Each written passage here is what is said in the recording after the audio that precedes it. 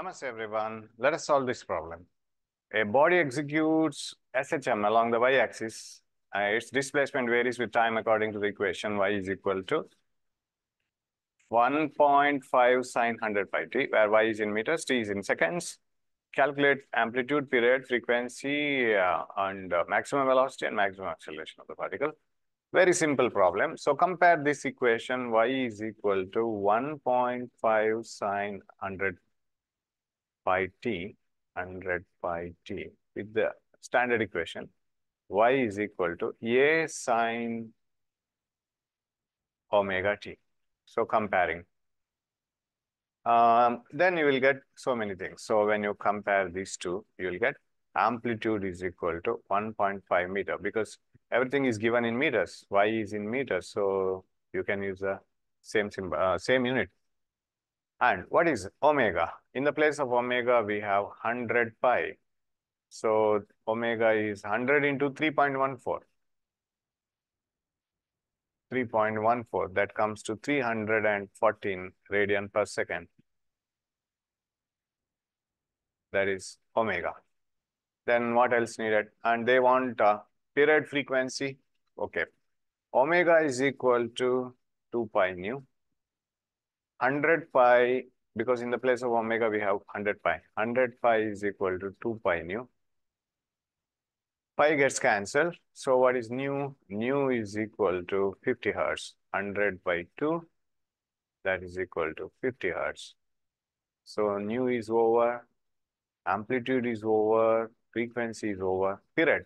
Period is uh, 1 by nu, 1 by 50. 1 by 5 is 0.2, 1 by 50 is uh, 0.02, so 0.02 seconds. Period is over, okay. Then maximum velocity of the particle.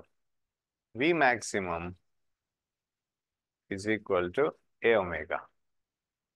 Amplitude is uh, 1.5 and omega is uh, 314. That is equal to 314 into 1.5. 340, C 314 into 1.5. That is equal to 471 meter per second because it is the highest velocity meter per second. What is um, maximum acceleration? Maximum acceleration is A maximum. A maximum, maximum acceleration is omega square A. That is equal to uh, 314 square into 1.5. That is equal to uh, clear. Of course, you can multiply omega to this. 314 into 314 into one and a half.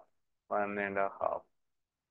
That comes to 147.894, I'll write. Into 10 to the power 3, I'll write.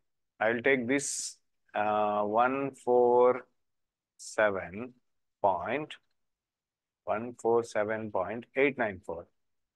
894 into 10 to the power 3 meter per second square because it is acceleration.